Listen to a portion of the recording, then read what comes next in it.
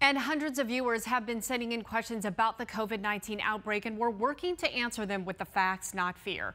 Joining us today, Dr. Kevin Steffen, an infectious disease specialist right here in the Valley. Dr. Steffen, it's great to have you with us. Thanks so much. Thank you, Tram. Good to be here.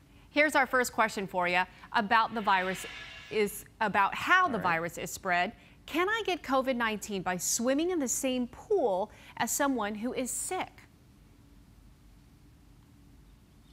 Really, it's uh, transmitted by body secretions and, uh, you know, transmitting through the air and, and infected items. But, you know, first of all, there's chlorine in the pool.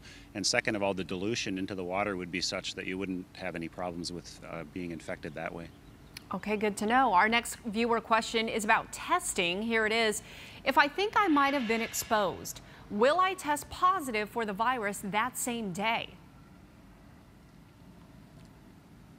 No, unfortunately, the virus has an incubation period where once you are exposed and infected, uh, in order to be detec- detected, the virus has to grow up in your body large enough quantities to be detected. The, the nasal swabs that are commonly being used, it's probably at least two days after you're exposed, maybe up to a week or so.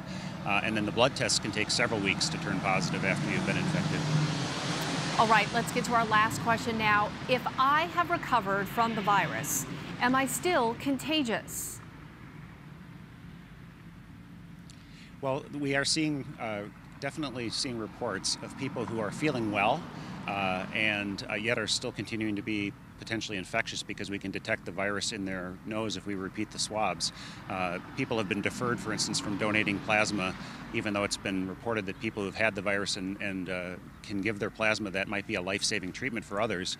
Uh, they've been deferred from being able to donate because of the fact that uh, they are still shedding the virus or it's still detectable. So uh, we don't know exactly how long people are going to be contagious after they feel better. So there's still some caution that's in order there. All right, Dr. Steffen, it's great to have you. Thank you so much for your time. Remember, we want to answer your questions, so please post them on our 12 News Facebook page or text us 602 444 1212. You can also download the 12 News app for all the facts, not fear information on the coronavirus.